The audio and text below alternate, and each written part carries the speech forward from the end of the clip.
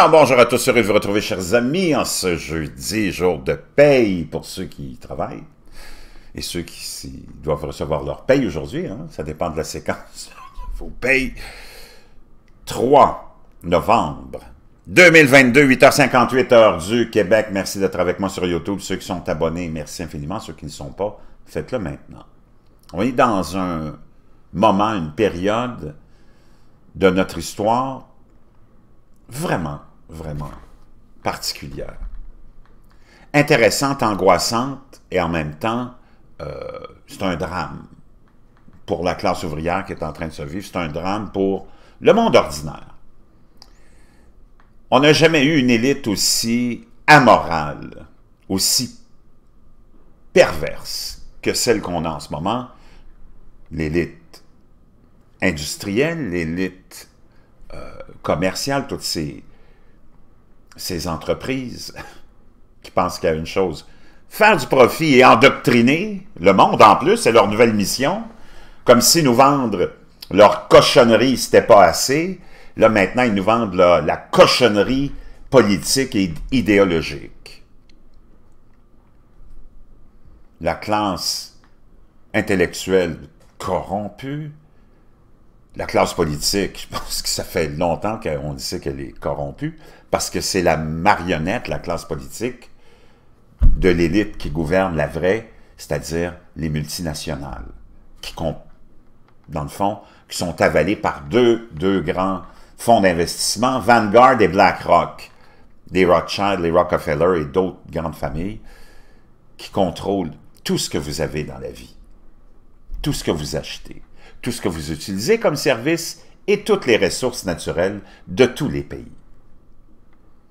On est leur possession. Ces gens-là sont d'une immoralité plus que satanique.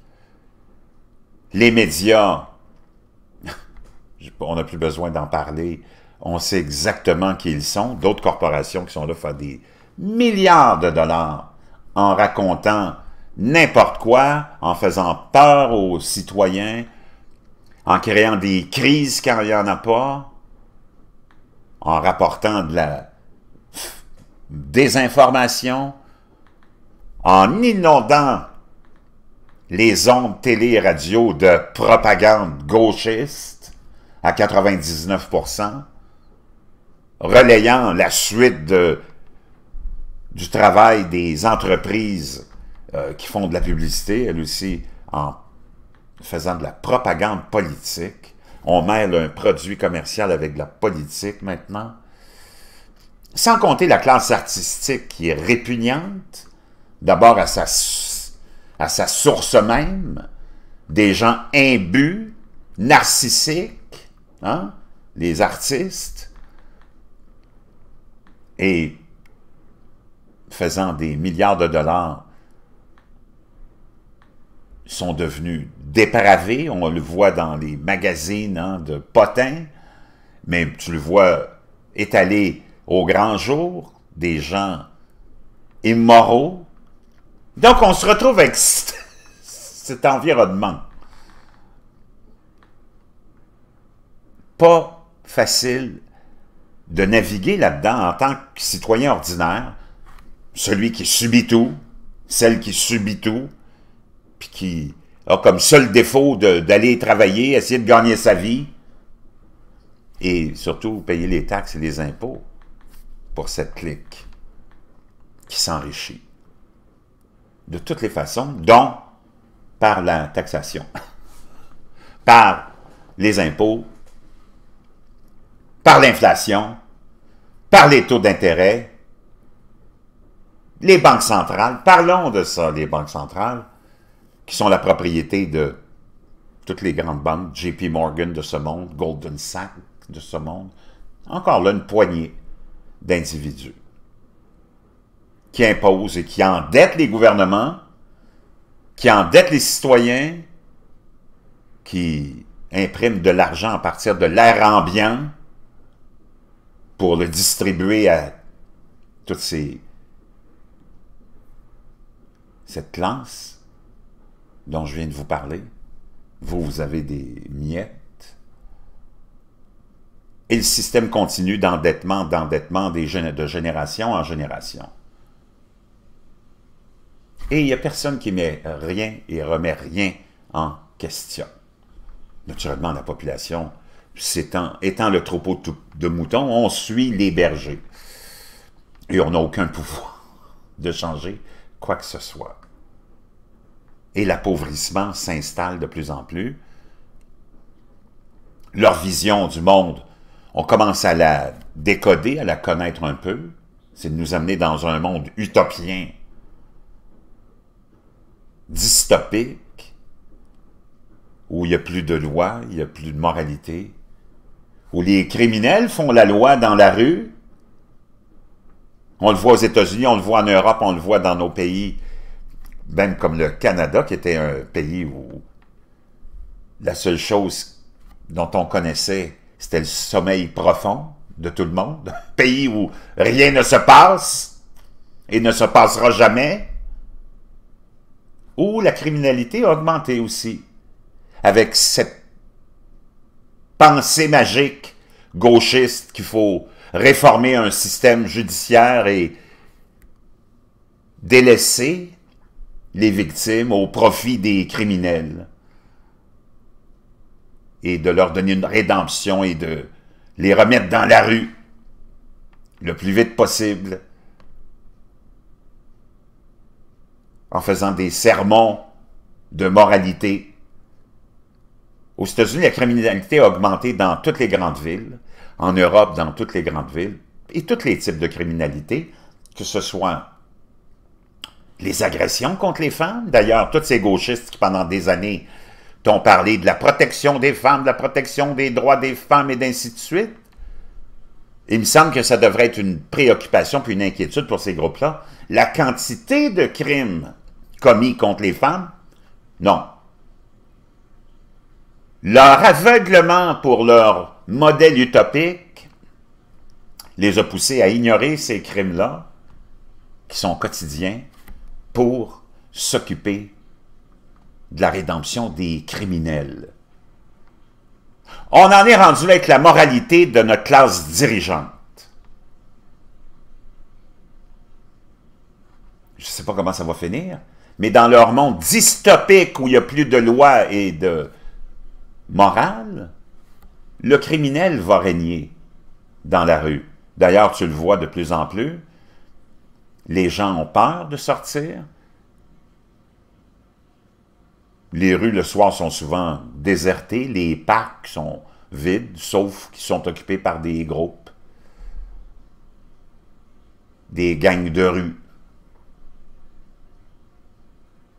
Ça, c'est le genre de... Et ça, c'est sans compter leur plan environnemental qui, sans vision, parce que tu regardes le résultat en ce moment, un hiver rigoureux s'en vient, même aux États-Unis, on parle de pénurie de diesel, de pénurie d'huile à chauffage dans les 10 à 15 jours qui s'en viennent.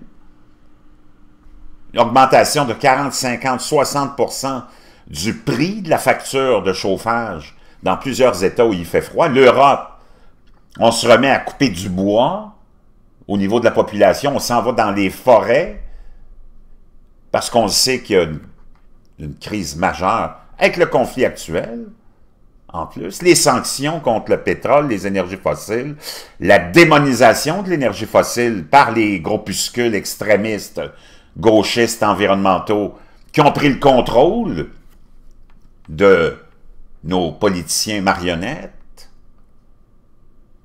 des adolescents qui manquent l'école pour donner des leçons de moralité à l'humanité, sur une fin du monde annoncée depuis longtemps mais qui arrivera jamais, en tout cas pas via un réchauffement climatique de 1 à 2 degrés, alors que l'histoire géologique de la planète nous démontre qu'il y a eu plusieurs périodes et de glaciation et de réchauffement beaucoup plus importants que 1 à 2 degrés d'ici 200 ans, mais on a fait rouler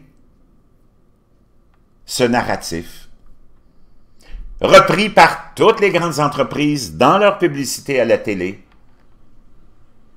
tous ces gens sans moralité, Et on arrive aujourd'hui avec une Europe qui va faire face à un hiver, et tout le monde l'annonce, des spécialistes de la météo, comme étant pour être un hiver très froid. Tu as juste à regarder ce qui s'est passé dans l'hémisphère sud. Eux qui viennent de terminer leur hiver, c'était un autre hiver très, froid, ce, qu'on n'était pas habitué euh, depuis longtemps. Donc, ça peut te donner une idée de ce qui s'en vient ici. Avec la déstabilisation de la haute atmosphère, des courants jets.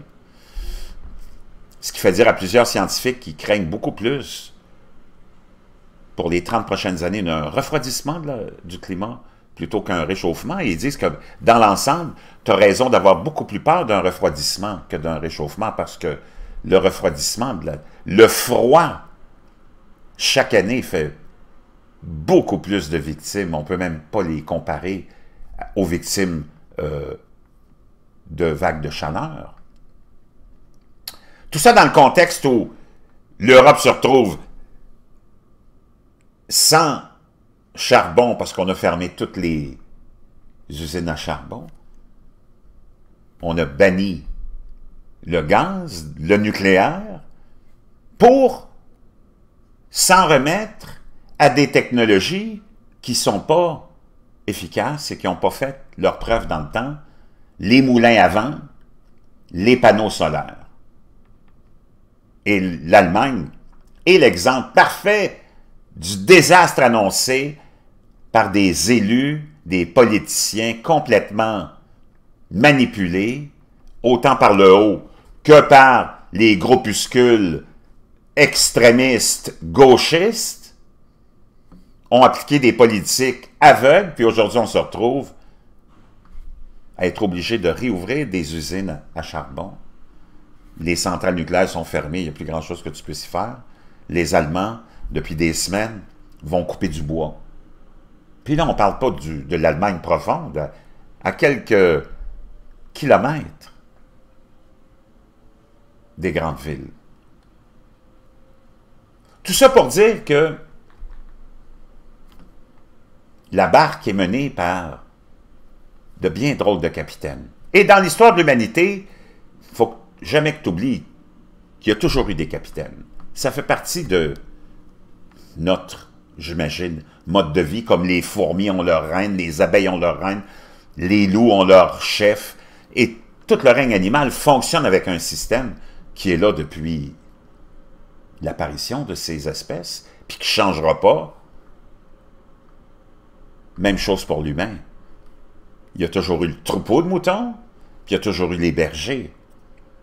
Sauf qu'à certaines époques, les bergers ont de la moralité, ont de la décence. Le troupeau de moutons est entre bonnes mains.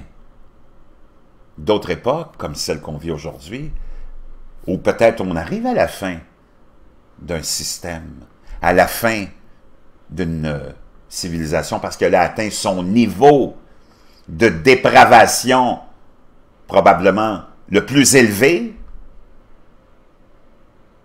descendra vers l'enfer avec une classe dirigeante amorale, avec des bergers sans d'essence minimale, qui traite son troupeau de moutons de bien mauvaise façon. Je voulais vous lancer cette imagerie-là pour que vous compreniez que vous n'êtes pas à blâmer,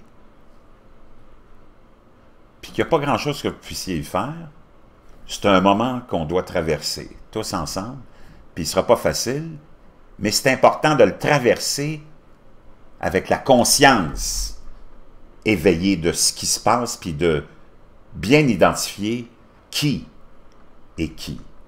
Je reviens avec une autre histoire de distraction, les essais nucléaires hier ou avant-hier dans la péninsule nord-coréenne.